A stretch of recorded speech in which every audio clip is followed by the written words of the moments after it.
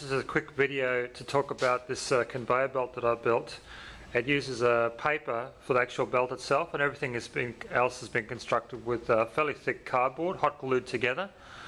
Um, at the base here you can see the Lego motor uh, built around a, uh, a, Lego support base which is um, encased in this cardboard.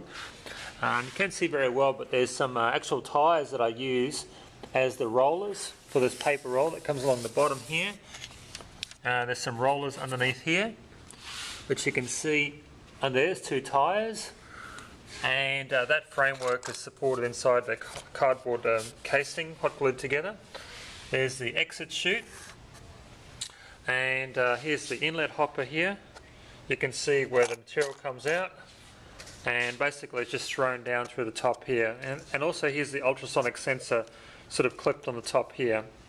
I'm using a generic sort of uh, Lego to go across here. You can see the paper conveyor belt, which I've had to tape a little bit to give it some strength. Um, I've got the program running on here, so I'll just start it. My files, uh, software, conveyor belt, uh, run. And you can see it takes off. Now basically it'll run for a few seconds and, and then it should stop. Right, so it's actually um, the height thing is uh, triggering me. I'll just move it up a little bit.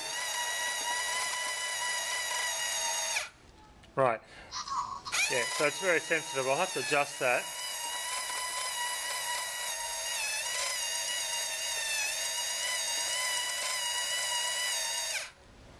Okay, so the idea is that if I get some material, throw it down here, and it'll start and it'll run for a few seconds clear that conveyor belt. So there's the overall shot. Just going to the computer here, I'll just quickly show the code that I used. Um, so we've got the ultrasonic sensor here, uh, speaker saying start, and uh, motor control block for block B. I'll just stop that now. Um, if I click on the ultrasonic sensor, go to the bottom, uh, you can see light sensor. Okay, there it is there. And we've got 14 centimeters, less than 14 centimeters. And that's all I wanted to show you for today.